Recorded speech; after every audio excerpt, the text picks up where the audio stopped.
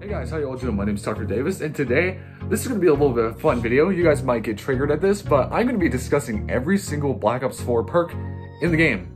So that would be like the new Quick Revive, the new Stamina all of that. I'm also going to be discussing their modifiers, so, and just, be, just to be aware, every single modifier in this game has weapon reload speed is increased, because you know, Speed Cola is not even in the game this year, or in this game. But yeah, so we're going to be discussing every single perk. I'm going to be giving my opinion on it because I don't care what any of you guys say about it. It's my opinion, and I know what's a good perk and what's not a good perk. So, yeah, you guys, you guys are going to be in for a lot of fun today. If you guys want to see more videos like these, please leave a like, a comment, subscribe for more. And yeah, it, we're probably might jump right into this soon, but I also want to address, I did a video similar to this a few years ago. Um, it's on my main channel, it's on one of my other main channels. Um, it's on my vlog channel. It was one of my older videos. It's like maybe four years ago. I posted a video discussing every single perk from World at War to Black Ops 3. And you guys gave me shit for it because I said the wrong uh, things that they do. Like Tombstone, I said they don't give your perks back. Just to be aware, I specifically made that video to trigger people. Like, I usually don't do things like that, but I just decided to do it for my own enjoyment. And I know you guys are really, really pissed at me. And that's my most viewed video on my channel. So yeah, uh, thanks for the views. And also thanks for the amount of hate comments that I got. Jesus. But yeah. Anyways, no questions asked. Let's jump into this. The first perk that we're going to be going over today is the perk Time Slip. Now, what this perk does is that it the equipment cooldown rate is increased, um, and the mystery box and pack a punch are like going a mil a millisecond every time you put the freaking weapon out of the box or you put the weapon in the pack a punch machine, and it greatly reduces the trap and fast travel cooldowns. So yeah, um, I guess this perk is like really good if you're doing Easter eggs. I was doing the Tag der Toten Easter egg the other day, and I actually beat it when I was using time slip because the fire sales and um, we use temporal gift on the fire sales and the box weapons just came at me like no other. Um, anyways, what the modifier does, um, the special weapon charge is increased and the elixir, the elixir cooldown is slightly increased. Um, and obviously, so like I said before, the, all the modifiers, they have um, increased weapon reload speed because Speed Cola is not in the game. And yeah, I, I'm going to give Time Slip, like, I'd say it's a good perk, but it's only useful if you're doing Easter eggs. Our next perk is our good old friend Quick Revive. So the only difference from this and the other versions is that in solo, it doesn't give you a solo self-revive. Instead, it only gives you a shorter delay of regenerating health and increased regeneration rate. And obviously, it still has the same mechanic of what it has in multiplayer. You revive players faster. So I guess you could say that they probably nerfed this, but with the, with the accounting of modifiers, uh, they might have buffed it. I'm not really sure. I can't really tell. But the modifier for this is you gain a sprint speed boost after um, the health regeneration starts, and reviving players will both will, will grant both the players that um, were reviving and the one that was being revived full full health automatically and the sprint speed boost, and obviously weapon speed is increased. So. Quick Revive is probably not the best thing to use in solo. That's I kind of learned that the hard way because when I went down doing an Easter egg the other day, I was absolutely pissed because I had quick revive, but I finally realized that, yeah, it doesn't work like that, like how it used to in the old games. So, yeah, that's quick revive. Our next perk we got here is called Death Perception. So, obviously, death and death perception, you guys know the deal. But what you do with Death Perception is you can see nearby zombies through walls. So, it's kind of a substitution for Vulture Aid in a sense where you can see things through walls. But instead of seeing perks in the mystery box and such, you can only see zombies. And the also other good thing about it is that you can receive a screen indicator that in which the enemies approach a player from off the screen. So like, it's also kind of like Sixth Sense for multiplayer in a sense. I just said sense multiple times in that sense. Well, anyways, yeah, so that's it. And the modifier, you can deal increased damage to special enemy weak points. So like, say if you're fighting the werewolf on Dead of the Night, you can deal increased damage to him in the chest. And what else do you got? Like the big six-armed dude in Ancient Evil. I forgot what the name of that boss was, but anyways, yeah. Um, Death Perception is an okay perk. I'm not the person that really uses it much, but it's obviously it's a usable perk. I think it's acceptable in this game. Our next perk is Stamina Up. Obviously, you guys know the regular um, thing of Stamina Up of how it increases your sprint speed and duration. Well, other than that, the regular stamina up um, cause, or I guess you could call it, um, it also regenerates your stamina a little bit faster than usual. So I'm not exactly sure if this was in the previous games, but that's what it says on this description. Um, but the modifier, you get unlimited full sprint, which is absolutely busted in certain situations. And the player can fire weapons while sprinting. So basically, firing on all cylinders, but without using the elixir or gobblegum. I think that's what the elixir was. But yeah, I would definitely put stamina up as a modifier in most Easter egg Easter egg setups. But um, other than that, stamina up is a pretty good perk in Black Ops 4. I would definitely recommend using it if you already haven't. Our next perk we have is Ethereal Razor. So obviously most people probably don't use this perk because it's only a melee kind of perk. Um, what it does is that offhand melees, um, the swipes affect the swipes of the melees affect multiple enemies in a certain like in a certain range. Um, in the offhand swipe and lunge, they give bonus damage and they also restore a small amount of your health, which I guess it's okay, but like again, like I said before, people don't use this perk much often.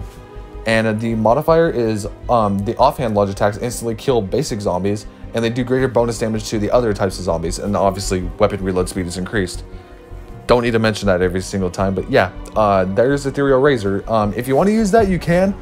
Um, I don't use it personally, but yeah, it's there. Our next perk is Blood Wolf Bite. Now, just a little disclaimer, I would definitely not use this perk if you're if you're in the middle of an Easter egg. But what this does is that if you inflict a lot of damage in like a bunch of zombies, so like say if you kill all the zombies and there's like maybe 12 of them and you kill all of them within a second, then it's gonna spawn a wolf named Luna and it's gonna basically basically help you along the along the way. Like I said, it's gonna be bad if you do Easter eggs because if you spawn the wolf in like say if you're saving a zombie at the end of the round, if you spawn a wolf too quick, it's probably gonna end the round.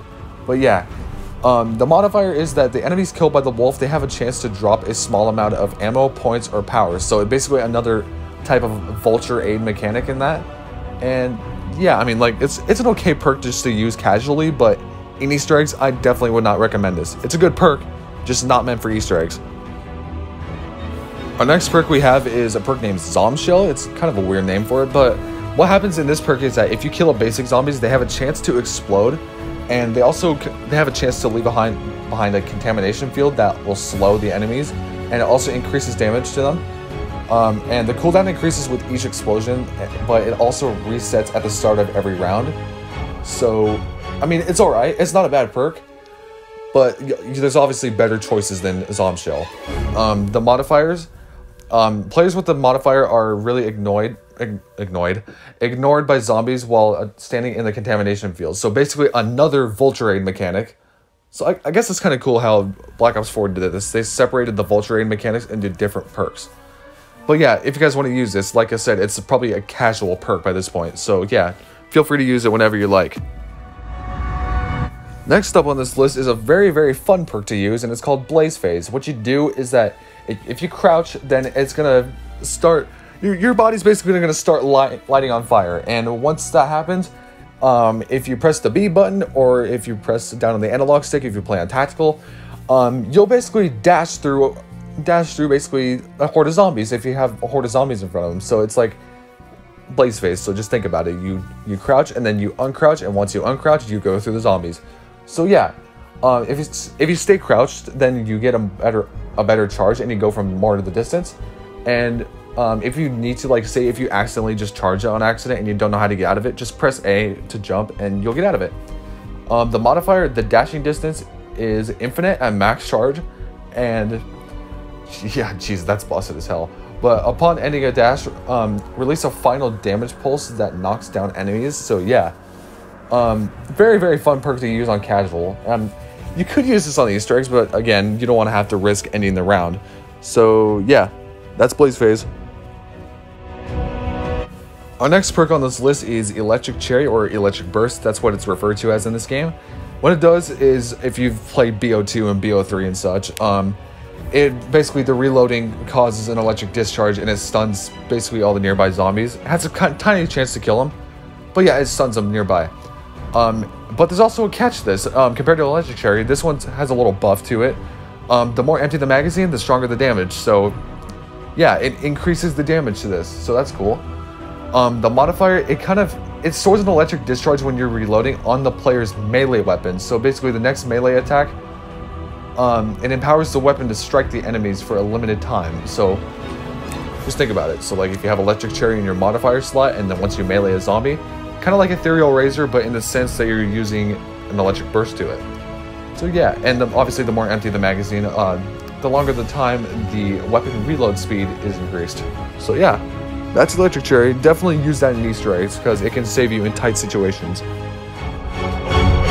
Our next perk on this list is by far one of the best perks in this game and is Dying Wish. So the trick to this Dying Wish is that um, instead of just entering last stand, you know when you go down and you have to wait for somebody to revive you, um, instead, you're going to go in Berserk mode for about 9 seconds, and when you're Berserk, you're completely invulnerable to the zombies, and melee damage is very, very, very increased.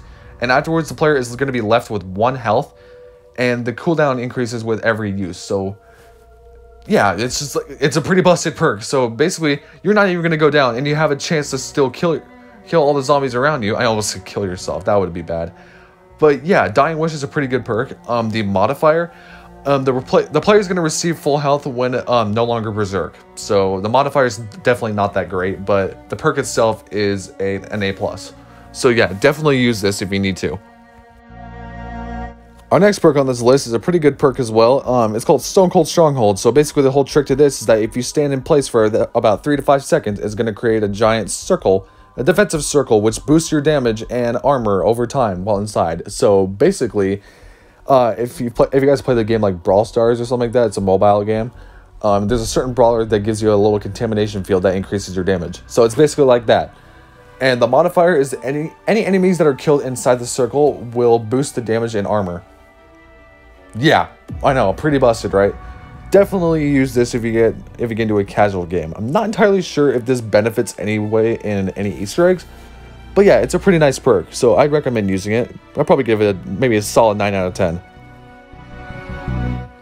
Another one of the best perks in the game is going to be Victorious Tortoise, my personal favorite perk in this game. So basically what it does is if, if you have a shield in the game and you hold it out in front of you, you're basically immune to damage until the shield is broken. And once the shield is broken, it's going to create a massive explosion and make the zombies go boom boom. So yeah, that's Victorious Tortoise for you. The modifier, um, the shield bash attacks can knock down a bunch of heavy and mini boss enemies. So like say maybe the uh, the gladiators from nine. If you just use if you just use it on those guys, then they're going to be knocked down like that. Just snap of the fingers. Yeah, I definitely recommend using this perk for an Easter egg, especially in the Your Tone Easter egg. I do not want to explain how many times I have lost my shield in that game, but yeah, Victorious Tortoise, use it. Our next perk up here is Deadshot Dealer, a better version of Deadshot Daiquiri. So obviously, if you guys know Deadshot Daiquiri, it, you aim down the sights and it aims directly to the enemy's head. Yeah, not only that, but Deadshot Dealer, it reduces hips it reduces hip spread and recoil while firing and also resu or resumes removes scope sway. So say if you have a sniper and you see, you know how you freaking your sniper just moves around when you're trying to aim down the sight. Well, guess what? It eliminates all that. And the modifier is even better. If you go on a headshot headshot streak, then you get a damage boost. Yeah, it only however it only applies to primary and secondary weapons, so no wonder weapons allowed. But yeah, if you guys want to use this casually, please be my guest because Deadshot Dealer just got a buff from Deadshot Daiquiri. The next perk we have on our list is Bandolier Bandit. So this is probably not one of the best perks in the game because all it does is you, it gives you an increased ammo stock. Yeah, that's pretty bad because you can literally just use your regular weapons without even having to waste ammo. And if you have a wonder weapon, you don't really need to worry about ammo because say if it's like the Thunder Gun or maybe the I was gonna say the Apothicon Servant, but it's not even in this game. So yeah. Um, anyways, the modifier for this gun is that if you refill the ammo of a stored weapon, it'll refill an ammo of the stored weapon from the ammo stock. So basically, if you have a secondary and you're not even using it, it's gonna restore ammo over time if it's in the modifier slot. So I guess the only thing good about this perk is just a modifier. Other than that, it's pretty useless in my opinion. Our next perk we have is a very, very great perk in this game, and it's called Winter's Wail. So basically, it's the bootleg version of Widow's Wine, but only better. So basically, what Winter's Wail does is if you get hit by a zombie, then a big giant frost explosion is going to happen, freezing all the zombies behind you, or in front of you, or maybe to the side of you. The only thing about this, though, is that it only happens in those difficulties. So any difficulty but realistic difficulty, it will have you'll have to be below 200 health. So you can't be at max health when you get hit. Um, but in realistic difficulty, the frost explosion was going to trigger no matter what your health is. So realistic is like what 100 health, right? So basically, if you get hit, then it's going to trigger the explosion anyway. Um, and the modifier and the frost explosion triggers a basically a slowing field around the player for a limited time. So uh, if you have it in the modifier slot and you get hit, it's going to trigger a massive field slowing every single zombie behind you. And obviously, weapon reload speed is increased. I don't know why I keep saying that. Our next perk is our good old friend Mule Kick, probably one of the most useless perks in the older games, but in this game, it actually serves a purpose. So obviously, if you guys don't know what Mule Kick does, it carries an additional primary weapon, but the modifier is even better. So what happens is you can switch weapons faster, so basically it's kind of a speed cola issue, but I guess speed cola didn't really do that, but anyways, moving on. But the additional weapon that you that you buy off of Mule Kick, if you lose Mule Kick and then get it back later after you lose your weapon, if it's in the modifier slot, you will get that weapon back after you buy it. So yeah, it's honestly pretty helpful if you want to take a third weapon. I still don't use Mule Kick worth the life of me, but I think that's pretty useful if you guys want to just play casually and just play around with your friends. Maybe even just try to get any as much weapons as you want. Maybe do a pack-a-punch challenge or whatnot. But yeah, definitely use this perk if you want to just do something casually. Alright, now next perk in this game is probably the most disappointing perk in this game, and that's PhD Slider, a very, very, very bad version of PhD Flopper. But anyways, so what happens is the technique to this is that you have to slide to build up a charge. Why do you have to slide to build it up when you can just slide off something and then just trigger the explosion there? But anyways, once you're fully charged, um, you can slide into an enemy to trigger an explosion. Um, however, you, you do gain full resistance to self-inflicted explosive damage and partial resistance to enemy explosive damage. But, you know how PhD Flopper um, gives you complete resistance to fall damage? Well, not in this game. This game just said, F you, you guys are not going to get fall, or you guys are going to get fall damage no matter what we do with this perk. But yeah, anyways, uh, the modifier, you get improved slide distance, and the trap immunity while sliding, it gives you increased explosive damage if you enter if you enter a slide from greater heights. So like say if you slide off like a, uh, uh, you know that big giant like banister area from Blood of the Dead, you can just slide off that. It's the one above the buildable table. Yeah, you can just do that, and it gives you a better better damage rating, and yeah, I'm just I'm just gonna stop talking about this. I don't really like talking about PhD Flopper, and I don't like using it. So yeah, let's move on. And our final perk, it's not even a perk. If you guys just want to do this for shits and giggles, um, it's called Secret Sauce. It does pretty much absolutely nothing except give you a random perk. Go figure. Anyways, if you guys did enjoy this video, however, please leave a like, comment, and subscribe for more, and I'll do more things like this. I'll probably play zombies on here. Uh, but yeah, I I gotta think of more content ideas, so please leave leave some stuff down in the comments, because I'm absolutely desperate for ideas on this channel. So yeah, um, that's all I gotta say, so I will see you guys in the next video. Peace out.